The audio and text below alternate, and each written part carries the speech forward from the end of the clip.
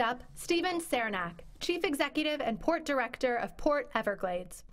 Jack Potter, President and CEO of Airport Council International. Don Santa, President and CEO of Interstate Natural Gas Association of America, and Linda Darr, President of American Short Line and Regional Railroad Associations. Leading the discussion, please welcome Neil Bradley, Executive Vice President and Chief Policy Officer for the U.S. Chamber of Commerce. Well, perfect. We're going to do musical chairs later. Well, thank you. Uh, with the introductions, I think we missed Kevin Burke. Uh, Kevin's with us. He's the president and CEO of the Airports Council. But since everyone otherwise has been introduced, I thought we would um, jump right into the discussion. And with that, I want to start um, with Kevin. Uh, you represent airports um, and the airport industry, and we watch uh, passenger travel climb, and we all experience uh, the effects of an outdated airport infrastructure at times when we're traveling. Tell us what you're looking for in an infrastructure package and what you think the biggest needs are uh, for the airport industry. Okay, Neil, thank you, first of all, for the invitation. Um, I like to coin a phrase we have 20th century airports in the 21st century. Let me tell you why I'm, I'm saying that. Uh, we have 850 million people go through U.S. airports every day, and my guess is everybody in this room goes through one of our airports at some point during the year. Um, that is in 2016. We predict by in five years we will be over a billion passengers going through those same airports. Those airports were built for about half of that capacity. So what we're looking at is passengers in, um, in airports waiting to get on planes. The good news is there's more passengers there than ever. The airlines are happy about it, but the structures aren't there to be able to match the 21st century demand. So, and that's both in passenger as well as cargo. So, as we see it, we have three big challenges ahead. One is facility modification. How do we match what we need for the 21st century? Um, all of our airports, all of the commercial airports in the United States were built prior to 9 11. Our youngest commercial airport is Denver International. They just turned 22. Now, if you compare that to how the Chinese build their airports, they build one every two or three months. Um, so, what we're looking at is we need a place to put passengers before they get on the plane. We need places to put vendors to be able to serve passengers, to modernize the facility. We also have the, the, the issue of competition. Um, 85% of all air traffic in the United States is carried by four carriers, the four major carriers. Think about that 85%. The remaining 15% are carried by discount carriers. So, what we need to do is we need to expand. Airports are in a position where we have to expand gates, we have to expand taxiways, we have to expand runways, we have to adapt to new aircraft. Um, the uh, airports we have today, they are constantly adapting, but it costs lots of money. Uh, when you build a gate for an A380, for example, and Jack knows this uh, at Dulles, you not only have to change the gate, you have to change the concrete underneath the gate considering the size of the plane. So that's an enormously important part of the problem. And then, um, since these are all nine, post 9 11 airports, we've had to adapt to the post 9 11 world like many industries have. But we have TSA in the front of the airport where all of you have to go through, and then we have Customs and Border Protection in the back for those of you who are on international flights. The technology that we have to put into airports, plus the fact that these airports were not built with 9 11 in mind or TSA in mind. So where we're demanded to, uh, we're, we're asked to expand the perimeter of airports to build lines to have people go through security. Many of you travel through airports where you wonder where are they going to put this line? So that's one of the three things, Neil, that we see as major infrastructure challenges. Um, and we, and, and last number I'll leave you with, over the next five years, U.S. airports predict that we need $100 billion, that's $100 billion in infrastructure funding, up from $75 billion two years ago. The longer we wait, the more expensive it gets. So those in my four minutes, Neil, I think I got under four minutes. You did. Thank yeah. you, Kevin. So those and, are the three. Uh, and I think you've hit on some themes that we've heard today, kind of across all modes of right. infrastructure, which is the longer we wait, the more costly this is going to be. Absolutely. So inaction can't be an option. So I, I, suspect that I'm going to hear that in other places today, but maybe we can skip to a, a different mode of infrastructure and talk about our, our ports. Um, Steve, you, uh, you head up the uh, port director, the Port of the Everglades. What, what are the infrastructure needs in our ports? Well, as an industry, our ports are facing incredible challenges trying to keep up with the multitude of demands on our infrastructure. Uh, we need to, you know, simply put, we need to find a way to leverage our, our investments to do it in a smart and proactive manner. We need to scale our infrastructure investments to meet today's demands. We have to grow freight and passenger volumes at our ports, and we have increasing energy and bulk cargo demands on our infrastructure. I'll cite an example. In 1956, the average container ship carried 500 containers. Now, today, we have ships calling on some of our ports that carry upwards of 18,000 containers. And that number grows.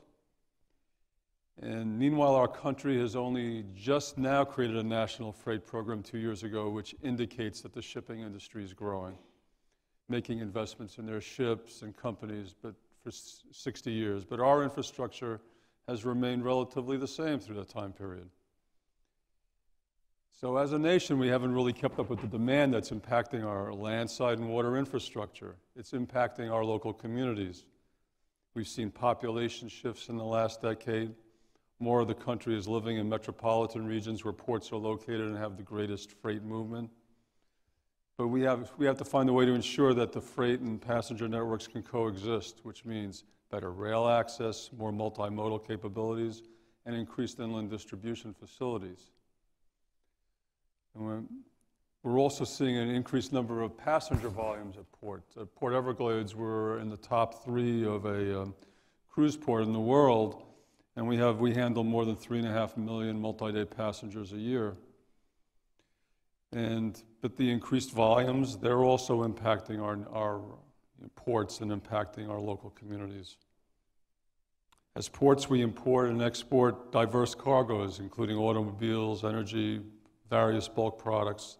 And our infrastructure must be able to move this freight effectively, so our infrastructure investments must be diverse, which means that our industry needs multimodal infrastructure investments, so infrastructure facilities can accommodate all, all modes of transportation, trucks, rails, and ships.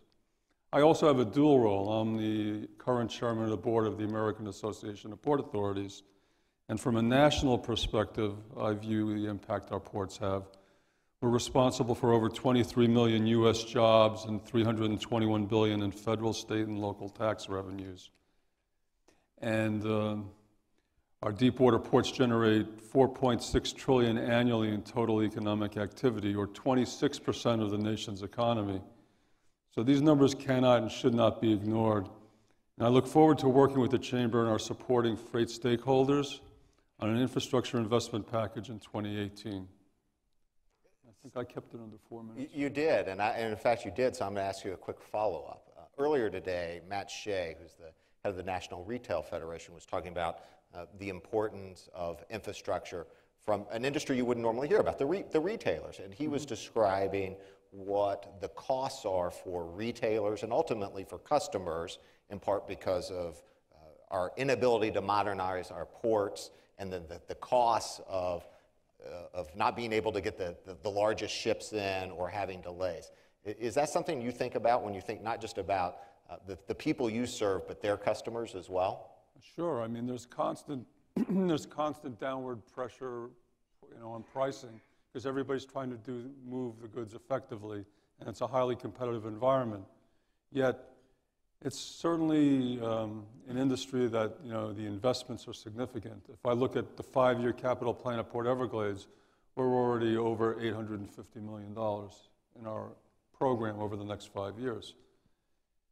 And the demands just continue to emerge on us from the shipping industry. They're all movable assets, they can move. And once you lose a business, it's very hard to reclaim it.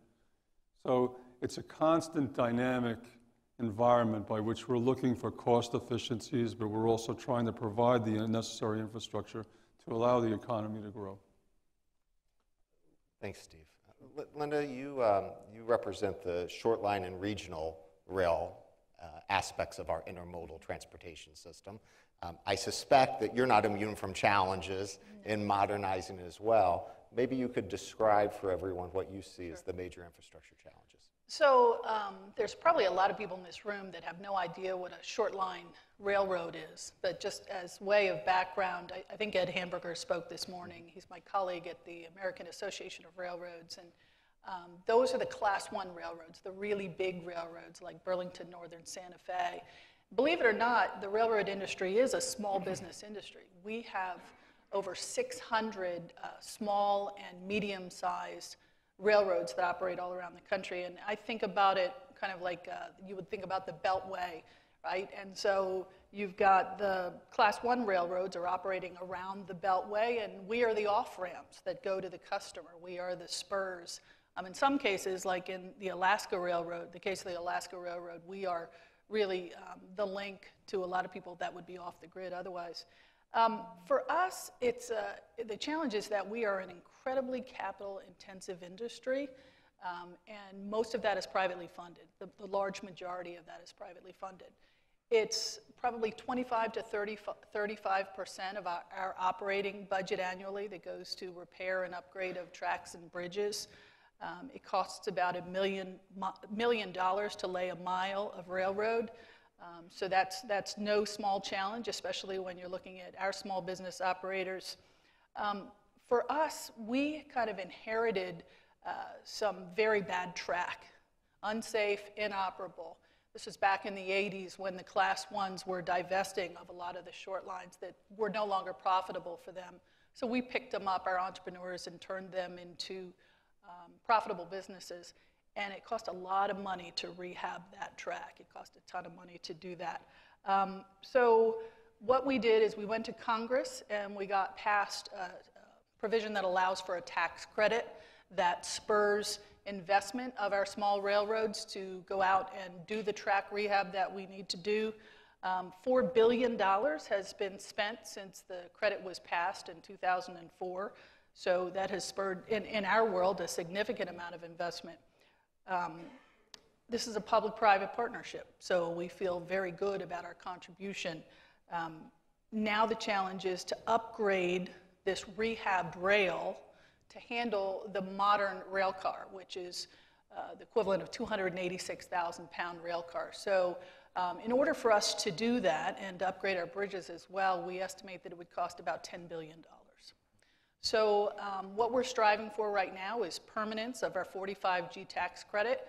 Uh, we had tremendous support this year. It's kind of ironic that in a year where tax reform was number one on the agenda, uh, the short line railroad rehabilitation tax credit was the number one co-sponsored tax bill in the U.S. Senate.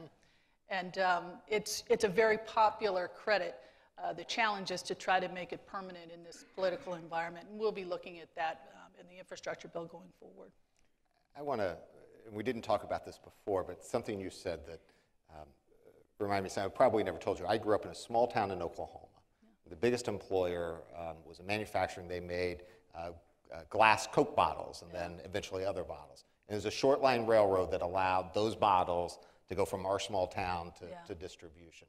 How important is your industry when we think about rural transportation, yeah. rural manufacturing? Yeah. How important is yeah. that? We are, um, we're the face of our industry really with the customer. And in rural America, and I mean, you know, Alaska's a great example of that. There just would be no freight service and often passenger service if it weren't for the short line but you know, one of the things that we thought when the Trump administration took office was that we were really in the sweet spot because we are operating in rural America, we are small businesses. The 45G tax credit is a public-private partnership, um, and you know, we're a made in America business. You know, you can't uh, offshore short-line railroading. So uh, we hope that that message is going to carry forward as we do the work in the infrastructure bill going forward. Um, but it's, it's really critical for the survival of our industry and to make our track safe. Thank you, Linda. Jack, um, you run the Washington Metropolitan Airports Authority. We've talked about three modes of transportation. You have at least three modes of transportation. So you, you manage, what, two airports, uh, you have a toll road, um, the, the, new Silver Line, all right here in our backyard in Washington. Um, talk about the challenges that you see from kind of that intermodal perspective well, when it comes to infrastructure, if you think about the airport and what was just described, uh, the Airports Authority is kind of like a city. Uh, And infrastructure, I heard a couple of the earlier speakers talk about infrastructure, and they were talking about uh, access to uh, phone service and Wi-Fi. So we've just upgraded ours because everyone wants to come into an airport and be able to communicate, and we want to be able to move from hardwire to, to digital technology. So it starts with something basic like that. At Reagan Airport, our challenges, we went from 18 million passengers to 24 million passengers in three years. One runway, 7,500 feet, but some of you, if anyone's gone through Gate 35X, the mosh pit, um, you know, we have more people, our- we have a landside challenge. And so that, we're going to invest money, we're going to change the security, we're going to make National Halls secure now, we're going to have new security uh, checkpoints, we're going to build a concourse for those, uh, what have been hard stands regional jets. Um, But I have to tell you, the biggest dynamic for me when it comes to Reagan is that the world is changing around me, not just growing. But as an example, we had in our billion dollar plan a, a plan to uh, build garages. Well, with the introduction of TNCs, transportation network companies, Uber, Lyft, you know, our taxi is down, our, our, our, the number of uh, folks riding the metro to the airport is down, the number of people parking at the airport is down. They're now all on the roadway. So now I have to, we're going to have to divert what was parking uh, facility monies and move them to roadways. And you will be disrupted, unfortunately, so please bear with us. Uh, out at Dulles, if you've been there, you know that we have a CD terminal that uh, we'd really love to replace, but you have to find the money to do it. Uh, But that is a challenge, and making sure that people can get there conveniently. I operate the, the access highway and the Dulles Toll Road, and I know that people who've been on the Dulles Toll Road recognize that there's congestion. We're building the Silver Line out to uh, Dulles and beyond. Phase one is open out to Wiehle Avenue. It's a $6 billion project. Uh, I have to tell you, the need for infrastructure is demonstrated, you know, throughout this metropolitan area and throughout the country and all the panelists. I would say the biggest challenge that we all have going forward is how do we fund all of the infrastructure they would need at the airports, on the roads, and, and introducing transit. And so, and it's really going to happen in a dynamic situation. So what I'm looking at is a situation where the world around me is changing as I'm trying to build infrastructure, and there will always be those folks who are out there throwing doubt at it, saying, why are you building that? Don't you know something else is coming? You know, and, and you have infrastructure that's built, so I have taxi hold areas. I have a garage for taxis at Reagan. Well, the use of that is going to diminish over time, but I can't put Uber people and taxi people in the same facility uh, without adding a whole lot of overhead for cops.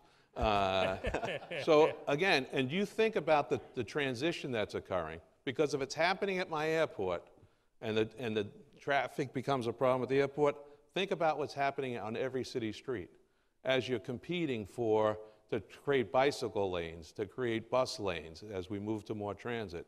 Uh, and at the same time, the demand for those other lanes of traffic are going up. So in general, I would say we're all challenged by the fact that America's growing.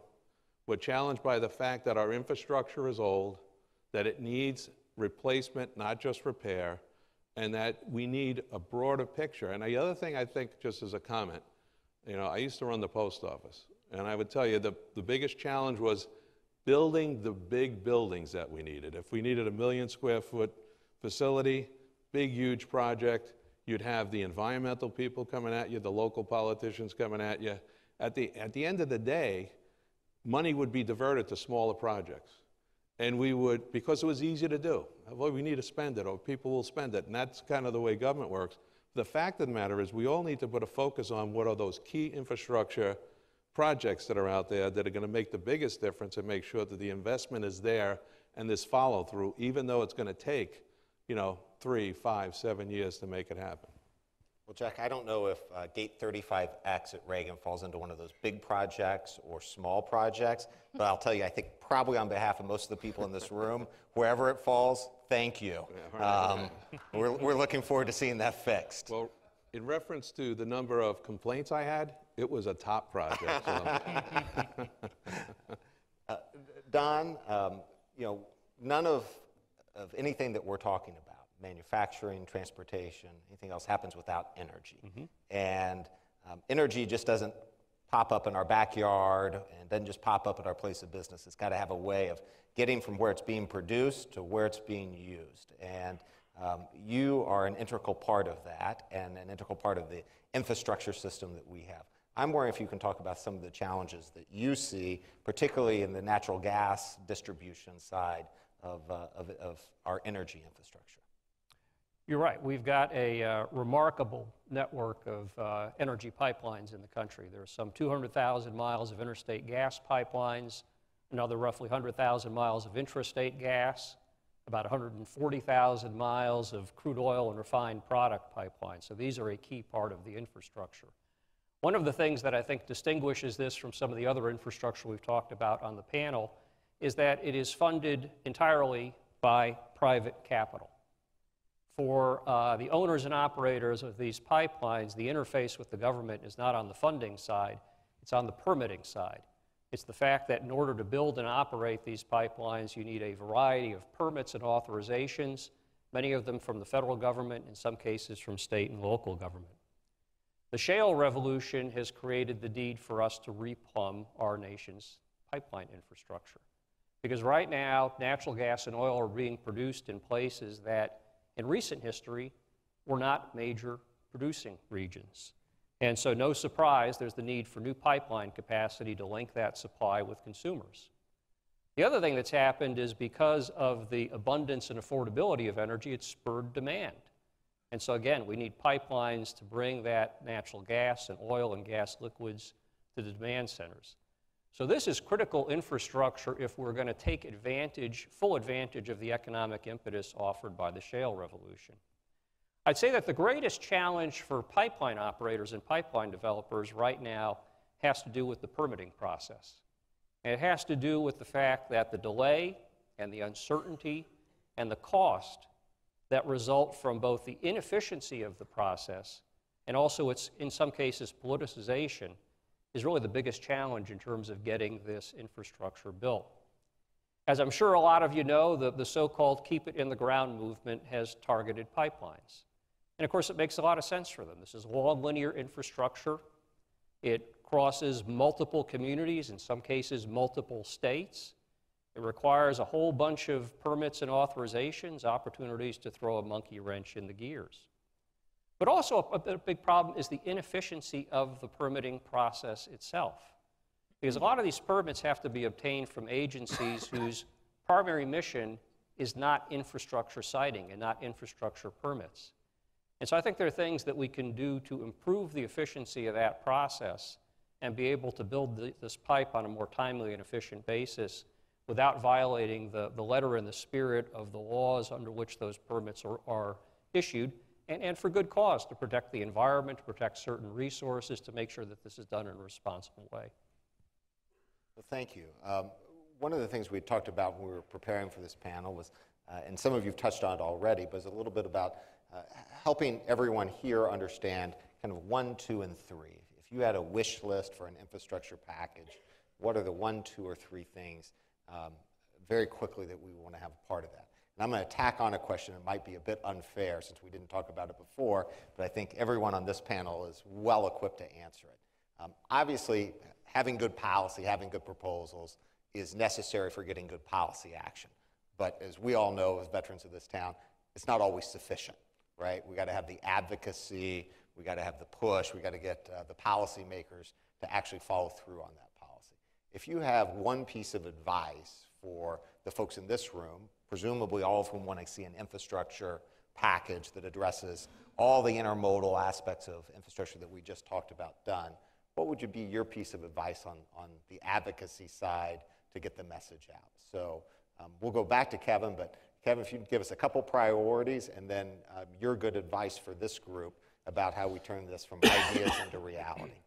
Okay, Neil, I, we have three priorities. The first one, because it's so, uh, infrastructure is so important, is that uh, we are strong advocates of modernizing what's called the passenger facility charge. All of us who fly pay it. Um, it's included in your ticket, and it goes directly from the ticket to the airport minus a fee that goes to the airlines. That fee was instituted 18 years ago and that fee has not been increased. So that $4.50 now is worth about $2.20.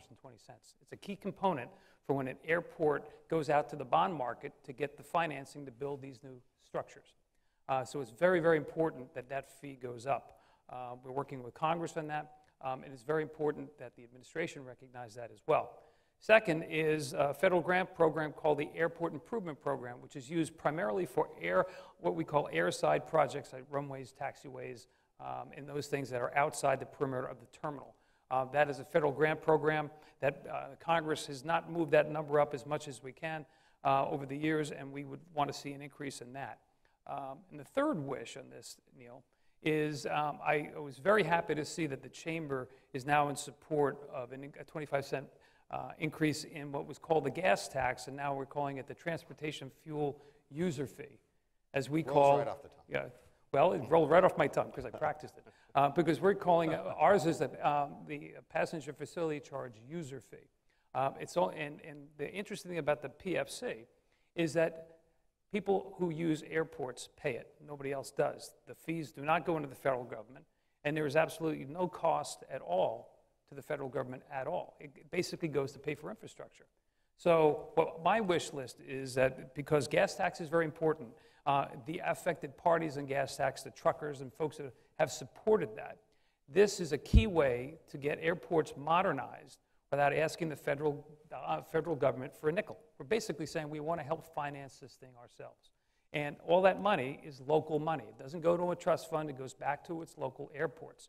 And so what I'm trying to grasp here is how is that any different? And actually, it is different because the federal gas user fee now goes into a federal fund, uh, which is controlled by the federal government. The PFC is not.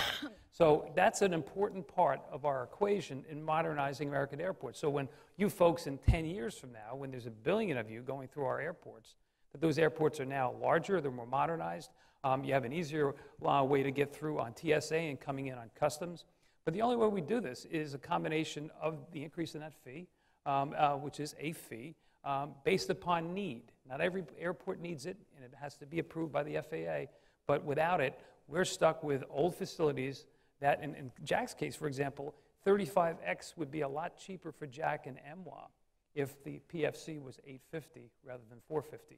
It would cost his authority a lot less money. So those are my three wishes. And the last wish is is to hopefully convince the chamber of the right way on this thing. So, This is Kevin lobbying in real time. Uh, that's right. I might as well do it in front of my colleagues. here, right? Exactly, There we go. exactly. Uh, uh, Steve, what are you looking for?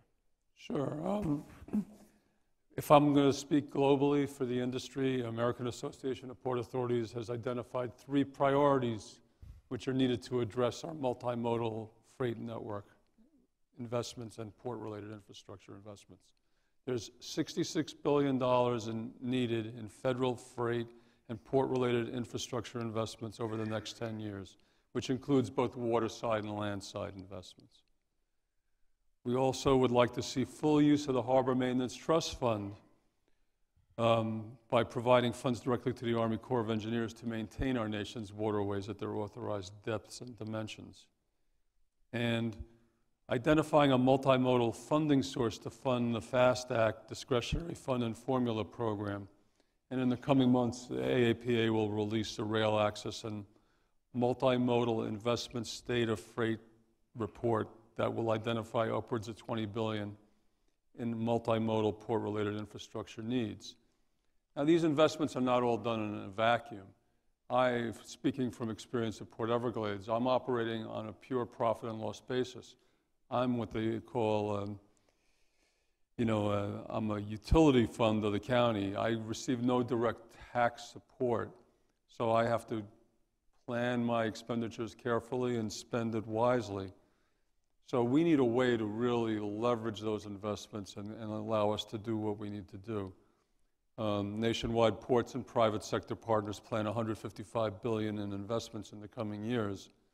We have partnerships in place, but we need the federal government to step forward and invest with us so that the private sector and local funding can be fully leveraged. Perfect, thank you. We're going to give Linda the last word, so we're going to jump around a little bit and let Jack go next. Well, let me, let me just jump on uh, Kevin's passenger facility user fee, PCUF, Kev, is that what we're going to call it? All right. uh, Well, Just trying to help you, Jack. Obviously, we need the money there uh, for, for airports. Again, there's a lot, uh, over $100 billion of investment that's required at our airports, and that's a way of having the users of the airport make a contribution to the investments that are being made. Uh, In addition, obviously, the Highway Trust Fund, I operate a roadway. Uh, uh, You know, I think the key here, though, is that a lot of times people are looking at federal grants for things, and uh, and there are alternatives. And so one of the things that we took advantage of when I look at the uh, metro extension to Silver Line, an extra 23 miles onto the Silver Line, a six billion dollar project. I took a look before I got here. Look at all the funding sources that we had. We had a grant from the federal government. We have money coming from the airport because we're going to have uh, two airport stations. We have money coming from the two counties that are affected by it. We have money coming from the Commonwealth. We have a Northern Virginia uh, funds coming our way. And we have PFCs are helping pay for the airport's contribution to this, as well as we have a TIFIA loan. Uh, and the TIFIA loan was fantastic, a $1.8 billion loan, very favorable uh, payment schedule because it was after the project uh, goes live, and it was low interest rates. And so I think what the federal government needs to do, given the, the vast obligation or requirements that you're, you're hearing about for the future of the country, is figure out how do they infuse some cash into the system that, that has a multiple. And the multiple on a TIFIA loan is 14 to 20 times what they put in it will actually be spent. And so I think we have to get very creative in terms of on the, the funding and really look at mechanisms that can enable people across the board. The fact of the matter is, uh, if you just calculate what we've talked about today, we're probably up over $500 billion that would need to be infused. And it really doesn't need to be infused day one, as I described. Some of the larger projects are over time. There really needs to, everyone needs to step back, and I, you know, encourage the federal government to do this. We all have our needs and wants, but somehow collectively we've got to look at this from a big picture standpoint and figure out are there mechanisms, and again, I think the TIFIA loan is fantastic and other that encourage, you know, Buy America bonds, whatever they are, uh, that would be able to be spread across and be infused into the system as projects are ready, knowing that there is a broad horizon of when these projects really would begin to spend money. Thanks. Don? I know permit streamlining is probably at the top. Other things? You- One, two, it. and three? You've got it. Uh, Permitting reform, uh, the, the House passed a pipeline permitting bill uh, in the last session. A bill's pending in the Senate. An infrastructure bill would be a good vehicle to get that across the finish line. Section 401 of the Clean Water Act. Not enough time to go into the details of it, but suffice it to say, this authority that has been given to the states to certify compliance with their water quality laws is being abused. Been abused by the state of New York to thwart interstate natural gas pipelines, was recently used by the state of Washington with respect to a rail facility. I think that's something that we need to address as part of an infrastructure bill. Then finally, not so much within the bill itself, but as you know, the president issued a lot of executive orders last year. Some of those had to do with permitting reform and infrastructure. And I think there are things that could be done there that would be a great complement to an infrastructure bill. For example, concurrent review of applications by federal permitting agencies using to the extent possible the same application, ensuring consistency within federal agencies in terms of their policies and application of federal laws. Think about the number of agencies and bureaus within the Department of the Interior that have something to do with permitting or authorizing energy infrastructure projects. And then finally, while there's a fundamental statutory problem, what can we do perhaps to circumscribe the ability of the states to abuse Section 401 of the Clean Water Act? It, it, it, it may be in the weeds, but it's a critical topic to go back to the first problem you described, which is the not in my backyard, keep it in the ground. Uh, and, and thank, I'm glad you raised it. Uh, so, Linda, you're going to get the last word. word on Great. priorities and how we get this done. All right, um, mine's pretty simple. Uh, num- number one, probably not surprisingly, is permanency for the 45G tax credit, which is the lifeblood of our industry, so that has to happen. Um, second thing is to make sure that short lines have uh, greater eligibility, especially in the rural America parts of any infrastructure package. The third thing I would say is uh, a focus on modal equity. And um, that's very important to us because I know, um, you know, probably like a lot of people in this room, I spent some time in government um, at the Department of Transportation and watching uh, the different modes kind of compete and how the policies impact the, the, the diversion of freight or passengers from one mode to another. I think we need to be very, very careful about that. Um, so for us, looking forward in, at the infrastructure bill, a concern would be how our main, our main uh, competition, the trucking industry, is uh, taxed for the infrastructure that they're using, um, whether it's a user fee or vehicle miles traveled tax. Uh, we want to make sure that whatever that policy is doesn't shift uh, freight from, from rail to the road. Uh, I think all of our uh, transportation modes need to be engaged and fully effective if we're going to handle uh, the economy, the surging economy that we anticipate coming forward, which is good news for all of us. So the two things that I would say to you about how to lobby this and what, what the chamber can do, I think the first thing, and I think the chamber does this very, very well, is to uh, ensure that you come to the table with solutions. Again, if you're working in the government, I don't care if you're you know, in Congress or you're in the administration, you've got a million things on your plate every day and a million people that are coming in and whining to you about something. And so if you're coming to the table with a solution and you've got specifics and you can quantify what the impact is, that's going to be uh, the successful proposal. So I think that that's uh, number one. And, and number two, have that sensitivity to um, the modal equity because I think that uh, you don't want to create an enemy by proposing something that is going to create some type of a shift that's not going to be uh, good for the U.S. and, and um, generally good for consumers. Thank you, Linda. I think that's great advice, and I, I hope you all will join me in thanking our panelists today for uh, helping us uh, wrap up this portion of our, of our event today with kind of a broad look um, at infrastructure. So thank you.